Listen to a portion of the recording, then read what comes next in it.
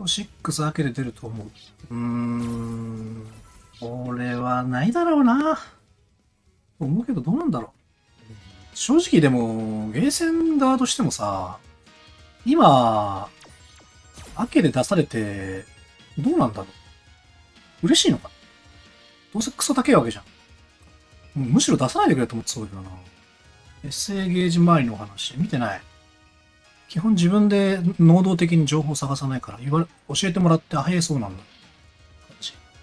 でございます。ゲーセンって今何がお金取れるんだろうストリートファイター 2X! あれよりインカムのいいゲームそうないから。あれめちゃくちゃインカムいいから。50円でもまあまあ稼ぐから。ターボ4でやってごらん。リアル1分ぐらいでわかんない。今でも。えっとね、あ、俺さ、ガンストやってたじゃない。で、ガンストもむちゃくちゃ金かかるんだ。もう朝からいるとほんとリアル1万とかかかるんだけど、まあそんな配信ムーブしてるやつはまあ置いとくとして、あれが確か1回200円なんやな。あの、何ちゅうキャラやってんの？えっと、一つ言えるのは、100円のゲーセンで、一つ、やるのの、やるんだったら、スト2の方がインカムはいい。50円だったら、50円だったらどうなんだろう ?50 円でもガンストぐらいは回るんじゃないの？リシンかな？言い過ぎてるかな？いや、ワンチャンガンスト並みに回ると思う。50円でも。獣店にはスパ 2X2 セットをこうよ。あはは儲かる儲かる、それ。儲かってしまう。通信料取られないからね。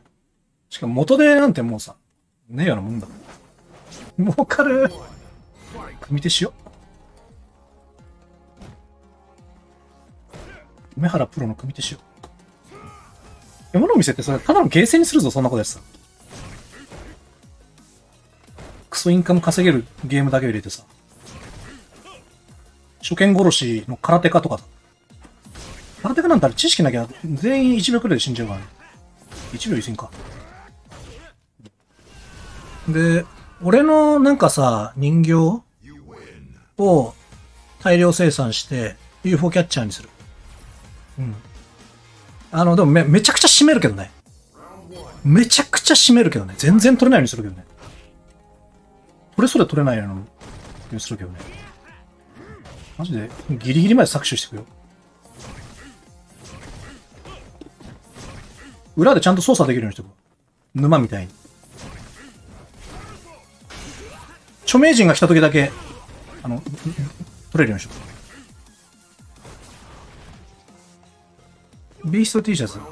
ビースト T シャツはね、会員様にしか販売してないんですよね。スポーツは地域と結びつけると人気が出やすい。うん。えー、やるもありがとう。獣店もしやるとしたら、都内のどの、どこのあたりがいいと思う？真面目な話していい？真面目な話していい？西日暮里。バーサスのおこぼれをいただく。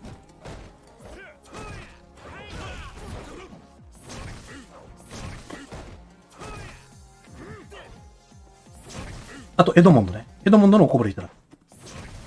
いや、昔俺、家の近くでさ、全然流行ってねえさ、中華料理屋が潰れない理由を知ったっていう話したことあったっけ？その話したことあったっけ？えみちゃんの家の近所にあった中華屋の話の知ってる？あ、そうそうそうそう。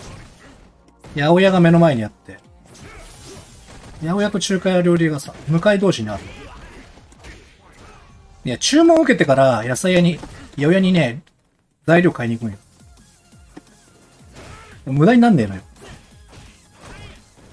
共存してたんだよね。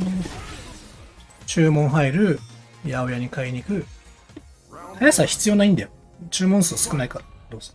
つまり、環境利用投法ってことさ。わかる？自分の店の価値だけで勝負しないんだよ。ガイア。軍人の考え方。